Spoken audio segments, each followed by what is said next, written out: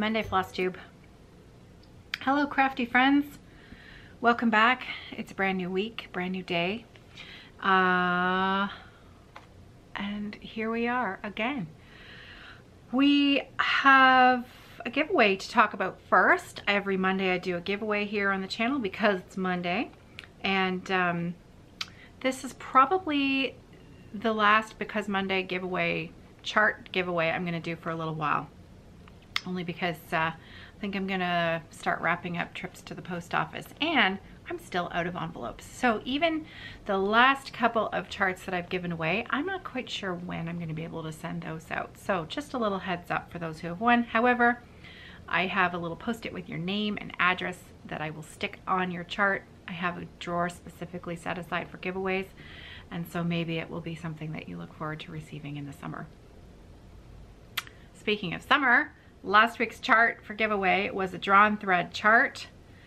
And it's simply summer because we're all looking forward to getting through the next few months and getting to summer.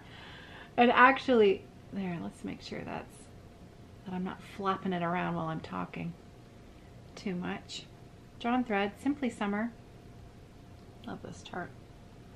Just a reminder, they have all four, um, all four charts put together on the back if you'd like to stitch it that way, which I just think is absolutely beautiful. Beautiful. I had 200 and, how many did I have? 218 comments. I took a photo of the winner and that was Rhonda Jones. So congratulations, Rhonda Jones. Your comment was the one that was chosen. And uh, I liked Rhonda's comment to me. She said, summer is coming. And that's the truth. It's kind of like Game of Thrones. Winter is coming. Summer is coming. We will get there. We will. We will get there. So Rhonda Jones, congratulations. Hopefully you have this chart in your hands by summer so I will do my best. So I hope you can understand. I'm just gonna have to put the pause button on the uh, charts that I'm sending out. So uh, I only have a little bit of crafting uh, stitching to share with you today, and that's my Savon because that was the only thing that I worked on since I last talked to you on Saturday.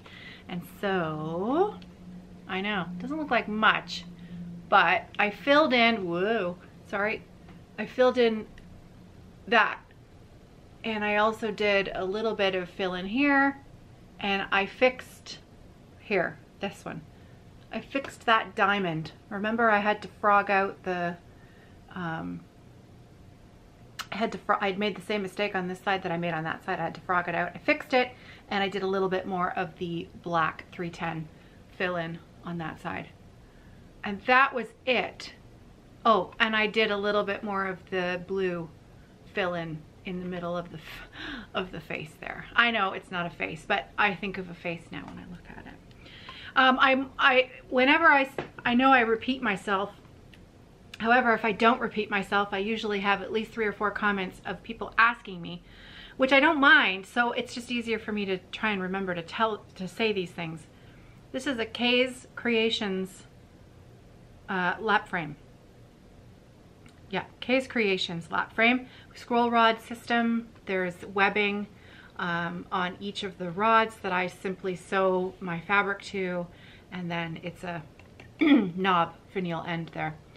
Uh, this is a 16 count off-white Aida and the called for DMCs. And the pattern is Savon by Landmark Tapestries and Charts and you can find that pattern. It's very hard to find the Landmark Tapestries charts, but uh, you can find them through www.celtichobbies.com. And uh, Claire is the, uh, the owner of that uh, online shop. So thank you, Claire. Claire actually donates $1 of the pattern sales from Savon and also Amtrak to Muscular Dystrophy Canada. And I, I mentioned this on Saturday, but I'm going to mention it again because I think it's awesome. Uh, she just donated $50 in in our in her and our name uh, to Muscular Dystrophy Canada. So I just I think that that's I think that's awesome. Uh, so yeah, that is the only cross stitch that I did, but it's most certainly not the only crafting that I did this weekend. Um, I did, I, I sewed all weekend. Pretty much, well, I've been sewing all week, as you know. Um, I have a project bag business.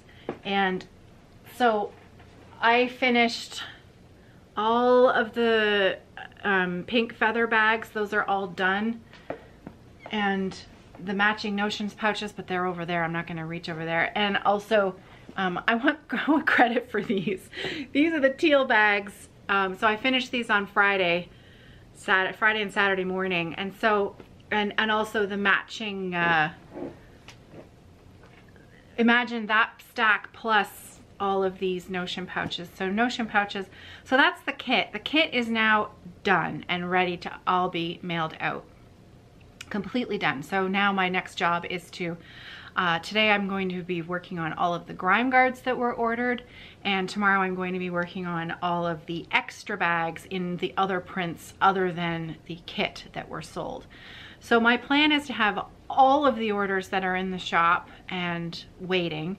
They're all gonna be sewn by tomorrow night. Wednesday all day I'm going to be packaging. And I'm gonna, I might try to also send out a box tomorrow as well. Um, tomorrow and Thursday. I can have FedEx come to my house and pick it up right from my porch. So that's what I've chosen to do.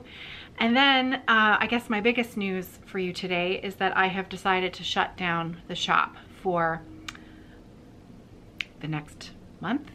Um, I think that that's going to be up in the air. But I think that uh, uh, the more things that, you know, Ontario, where I where I live, Ontario, Canada, we have shut down all non-essential businesses. I am clearly not an essential business. Um, I do work from my home. They don't, you know, online business is not required to shut down. However, um, being that, you know, I require certain things that you know need to be shipped and sent to me or you know the, the fabric shop is closed so if I run out of a lining or a zipper or you know something that I need it, it's not easy to get. And so that creates a little bit of, of anxiety um, and also you know my kids are home full-time now and uh, they're you know life is just a little bit a little bit unusual at the moment. So that's not to say that I'm not going to be working. I am going to spend the next however long that the, the storefront online is closed down. I'm gonna be making project bags with what I have here. I have lots of zips, I have lots of fabric, and so I might not have 50 of the matching kind, but um, I can certainly be making project bags over the next month. And then when things are a little bit more certain, then I will reopen and I will have uh, shop. Uh, I will have bags that are that are ready to go. So that's really what I've been. That's what I've been crafting over the last couple of days, and that's why I have very little stitching progress to share with you. So I would imagine that come Friday, you're going to start to see that I'm going to be having a little bit more cross stitch and knitting progress as I'm able to uh, start um, doing a little bit more personal crafting.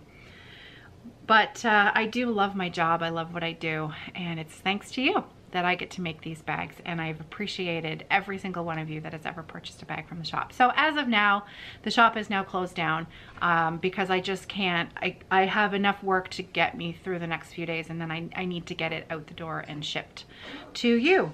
So so I know this is a little bit of a shorter video today, um, but I just want to leave you with a couple of dad jokes because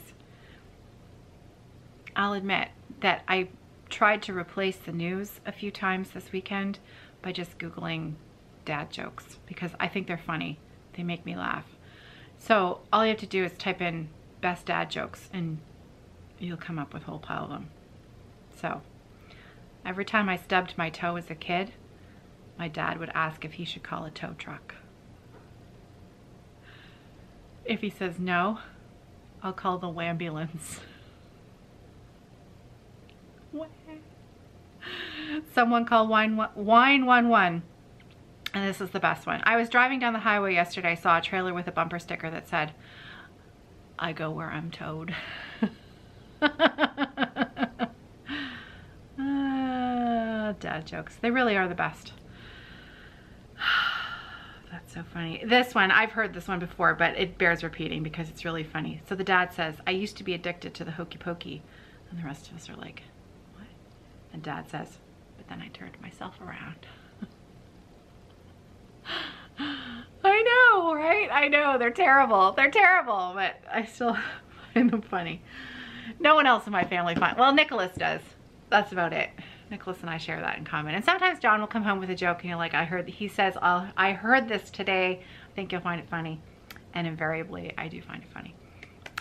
All right, that's it for me today. Take care, everybody. I will see you tomorrow for another daily crafty chat and happy stitching until then. Take care.